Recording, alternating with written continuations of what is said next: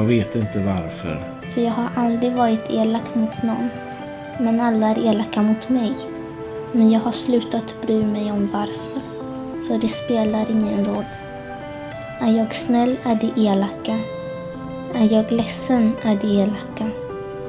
Är jag arg är det elaka. Jag orkar inte mer. Snälla hjälp mig.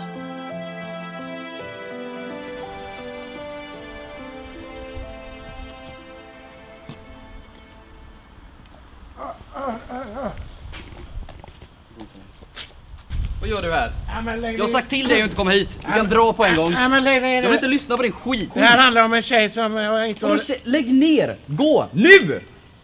Sluta! Fan, hjälp mig med det här nu. Tjafsa inte emot. Nej! Titta på det så Jag sätter jag... trött på din skit.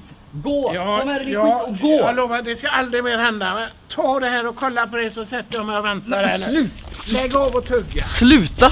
Så, ja, jävla. Jävla... Fan jävla skitunge. Han är lika jävla dum eh, han fan varit sedan han föddes. Helvete. Ja. Nej fy fan. Det ska vara så jävla svårt liksom att hjälpa en annan människa. Trött, trött jag blir. Nej jag får ta mig fram ta den här det.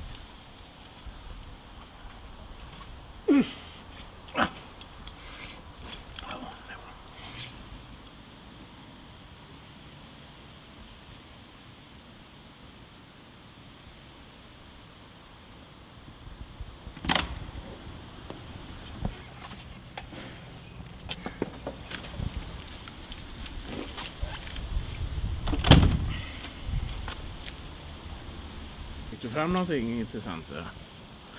Jag ringde till Skatteverket och eh, kollade upp hennes namn.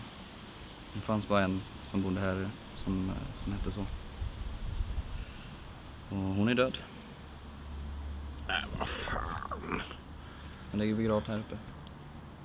Skojar du med mig? det? Nej. Men, men vad, vad konstigt.